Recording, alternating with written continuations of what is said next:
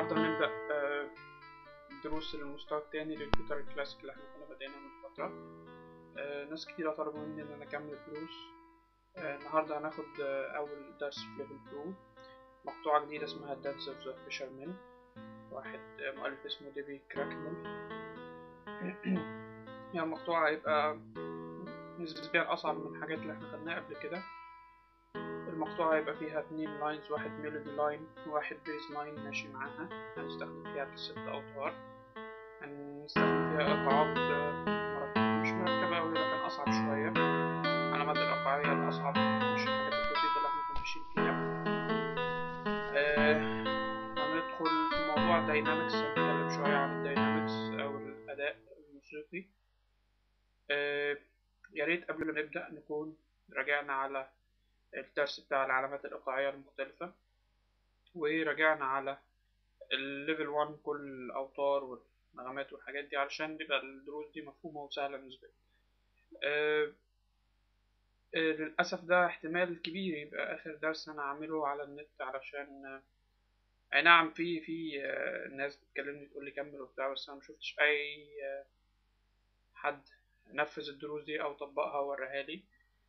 إحنا آه بنشتغل على النت وأنا معرفكوش وانتوا متعرفونيش غير من خلال الفيديو بس أنا كنت طالب يعني شوية reaction ما بيننا وما بين بعض آه، يا ريت يبقى في video replies على الفيديوهات بتاعتي. سجل الحاجات اللي انت تعملها وابعتها على النت بحيث نشوفها مع بعض نحاول نعلق عليها لو في عيوب نصلحها في أخطاء آه، ما نحسش إن المجهود اللي إحنا بنعمله بيضيع على الهوا يعني. آه، بس هنبدأ مع بعض المقطوعة. هنشوف النوتة بتاعتها الأول.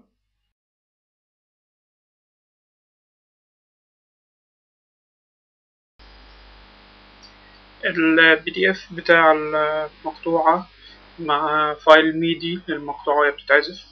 هتلاقوها في ال- ال- ال video description على على يمين الصفحة في اليوتيوب. هبقى حاطط لينكات للحاجات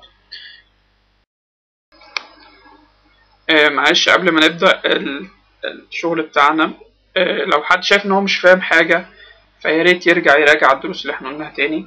لو حد شايف إن الأسامي والعلامات والطا والتفاطيفي والحاجات دي تضحك بالنسبة له فدي مشكلته هو. لو حد شايف إن أنا مخترع الكلام ده فهو غلطان الكلام ده كل الناس بتشتغل بيه.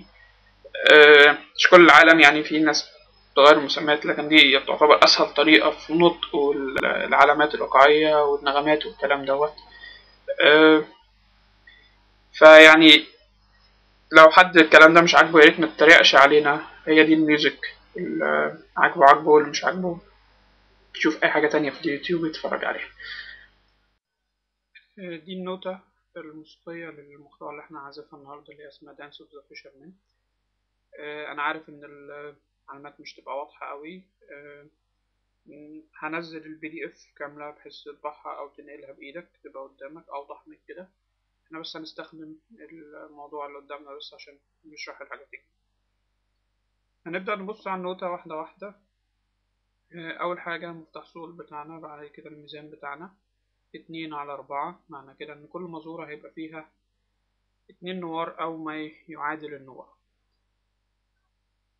هنبدأ أول مزورة مع بعض. هنلاقي هنقرأ الأول ال melody line اللي هو الخط اللحني الجمل اللحنية. اللي هتبقى ناحية فوق دايما العصيان بتاع العلامات الموسيقية هتبقى ناحية فوق. آه، أول علامة عندنا هي التفاطيفي اللي هي double croche أربعة double croche أو أربع تربع ورا بعض. وقلنا الأربع تربع بيتنطقوا تفاطيفي. آه، التفاطيفي العلامة المميزة ليها أو لازم إن هي تكون بشرطتين من فوق. عشان نقول إن دي تفاطيفي التفاطيفي زمانها زمن ال noire أو خبطة واحدة. هتبقى تفاطيفي تفاطيفي تفاطيفي مع أول علامة اللي هي مع الفا عندنا هنلاقي علامة تحتها بالظبط. العلامة اللي تحت هي هتبقى ال bass line وال bass line كله هنلعبه بإيدينا اليمين بصباع ال P الصباع الكبير. آه، سواء rest stroke أو free stroke لو تعرف تعملها rest okay. free stroke هيبقى أسهل شوية مفيش مشكلة. آه، ودي أول bass note معانا أول نوتة في ال bass line هي الري اللي هو الوتر الرابع أو كل ال bass line عندنا هيبقى الأوتار open مطلقة. يبقى عندنا الري لا والمي أو الوتر الرابع والخامس والسادس وهيتكرروا. بقية المزورة الأولى إحنا قلنا أول مجموعة أول أربع نغمات هي تفاطيفي وبعد كده عندنا نص ونص اللي هو كروش وكروش. كل كروش كان بنص نوار فالاتنين على بعض بنوار. يبقى أول أربع تربع وبعدين نصين يبقى المجموع كله اتنين نوار. والعلامة التطي هننطق اللي هي نص نص هننطقها تطي فيبقى المزورة على بعضها تفاطيفي تطي. okay. النغمات نفسها تبقى فا مي ري مي فا ري. المزورة التانية آه برضو أول نوتة آه المي معاها اللا اللي هو الوتر الخامس ك bass آه ال bass line زي ما إحنا شايفين العلامة الواحدة ب blanche اللي هي باتنين فاحنا بنحاول نسيبه يرن طول المزورة قبل ما يتغير. المزورة التانية فيها ك melody line فيها تطي تطي آه وبعد كده المزورة التالتة في bass هيبقى السادس الوتر السادس open وعندنا ك melody تطي تطي أنا مش هقرأ كل العلامات الموسيقية المفروض آه هي سهلة. أنا بس هقول إن ال melody line هنلعبه بال i وال m rest آسف free strokes ما عدا في حتت معينة هنقول إن هي rest stroke بس دايما هنبقى نبدل يعني لو ابتدينا. أول مزورة الري مع الفا هنلعب الري ال open بحرف بصباعنا ال p والفا هنلعبه بال i وبعد كده m i m i m وهكذا. مكملين i m طول. المقطوعة. آه يبقى الإيقاع بتاعنا ماشي. تفا في تتي تتي تتي تتي تتي تفتي في طا ده noire كامل. جميل. بعد كده هنكمل. آه لو في أي صعوبة واجهتك في معرفة نوتة من النوتات دي ياريت نرجع للدروس اللي قبل كده عشان منبقاش بنكرر نفس الكلام. بس بنأكد عليه ال bass note ال bass. هنا هتبقى المي وبعدين اللا وبعدين الري وبعدين تاني تطي تطي معانا bass اللا وبعدين السطر التاني المزورة السبعة. هنلاقي علامة جديدة من العلامات اللي إحنا كنا اتكلمنا عليهم في الدرس بتاع العلامات الإيقاعية آه ال bass ال bass معانا هو المي أو الوتر السادس open. ال melody هيبقى نص وبعدين ربعين.